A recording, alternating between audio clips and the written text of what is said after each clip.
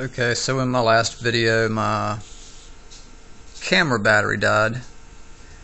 Um, but I will do a uh, high def, uh, more in depth um, presentation of the software um, at a later time. But what I wanted to quickly show was uh, the basic theory behind uh, the operation of the uh, uh, Speake FGM sensors. So what I got here is a rare earth neodymium magnet from a hard drive. And its north and south poles are at either end I'm not sure which so let's just use a compass. And does this repel? Okay that's repelling so that's the south pole and there's our North Pole. So the sensor is designed to be sensitive to the dynamic range of Earth's magnetic field from 80 to minus 80 microteslas or 80,000 nanoteslas and it depends on which way it's oriented. Um, I was right to begin with I was wrong in my last video. Um, I was getting some uh, I was getting some uh, crazy readings that had me doubting myself, but the terminal end of the sensor should be facing west, as I originally thought. Um, if you want a positive biased field reading. Um, turning it around will work, but you'll be getting an opposite polarity. So, um, this outputs a frequency between uh, 40 kilohertz and 120 kilohertz, directly proportional to the field. And to demonstrate that, I'm just going to take the north pole of this magnet and get close to the sensor, and you can watch the frequency on the oscilloscope as I get closer.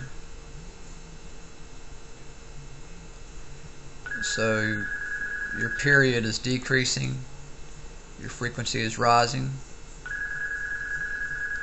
Um, if I take the North Pole from the bottom side, we ought to see the frequency decrease. So I'm coming from underneath the sensor with the South Pole, and you can see the frequency increase.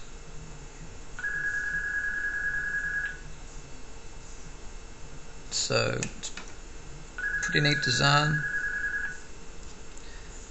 So these are sensitive to there's two models.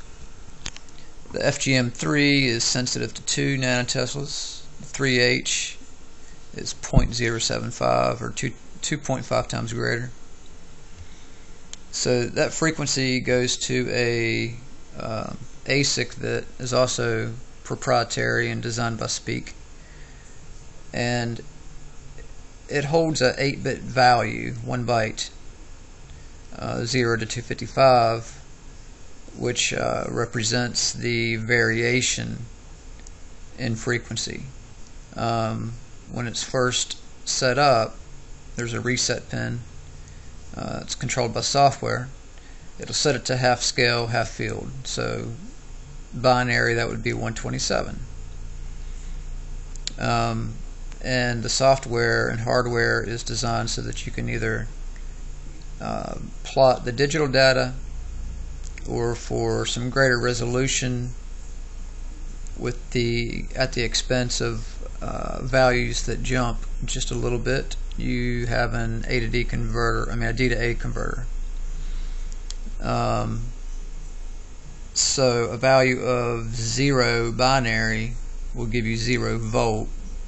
A value of 255 binary will give you 2.56 volt.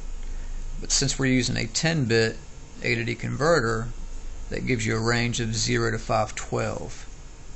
Um, so you can see uh, why we offer uh, both methods of input.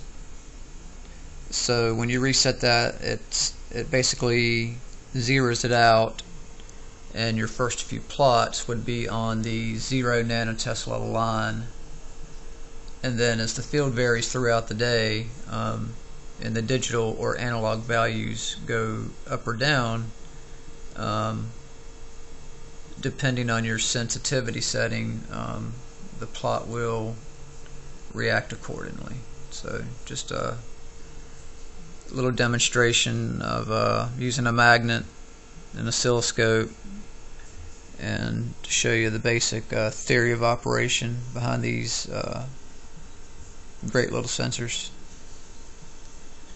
More to come.